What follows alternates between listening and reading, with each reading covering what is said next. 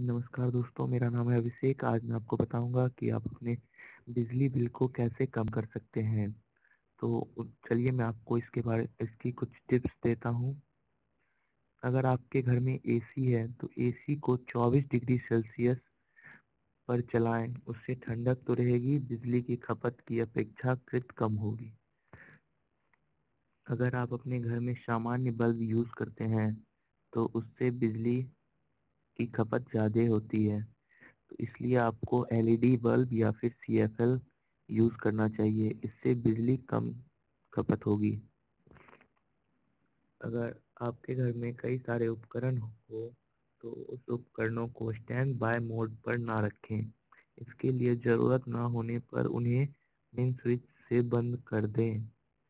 Device washer full load करके इस्तेमाल करें। ऑटोमेटिक डिवाइस वॉशर में उतनी ही बिजली और पानी इस्तेमाल होता है। अगर आप जिस कमरे में नहीं हैं, उस कमरे की फ़ैन या फिर बल्ब ऑन है तो उसे जाकर ऑफ़ कर दें, नहीं तो ये फालतू की बिजली बर्बाद होगी।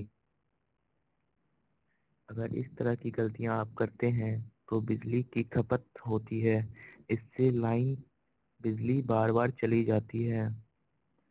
इससे हमें ही परेशानी होती है, इसलिए हमें बिजली बचानी चाहिए। थैंक यू दोस्तों, अगर ये हमारा वीडियो अच्छा लगा हो तो please share this video and comment on videos and like videos do subscribe and get more videos thank you